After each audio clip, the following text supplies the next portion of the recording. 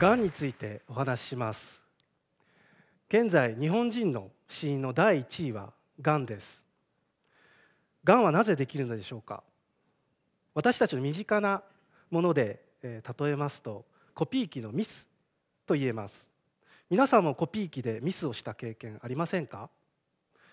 私たちの体の中は数十兆個の細胞からなっていて細胞数を一定に維持するために日々細胞分裂が行われています。細胞もミスをします。遺伝子を複製する際にミスをします。一度のミスならそのミスを修復する機構っていうのは体の中に備わっていますがその複数回ミスが重なると細胞の性質が変わってきて制御できない細胞が暴走してしまいます。それががんであると言えます。現在そのがんに対する治療の方法の一つにがんの化学療法があります。がんの化学療法の現状では効果がある一方で重い副作用が問題となっています。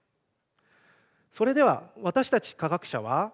がん細胞の性質を詳しく調べることでがん細胞のみに作用するような抗がん剤を開発し副作用の軽減を目指しています。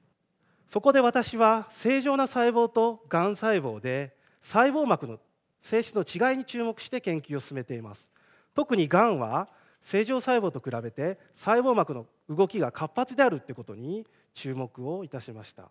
こちらに示しているのは私たちが開発している非常に小さなナノサイズの粒子です。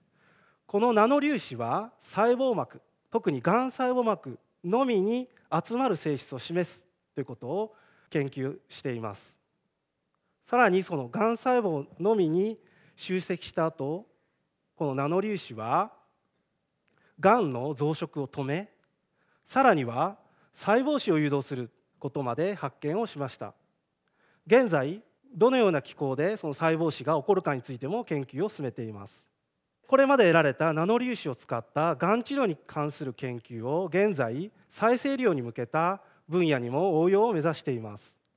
私たちが開発したナノ粒子ががんの目となる細胞を発見することができれば安全な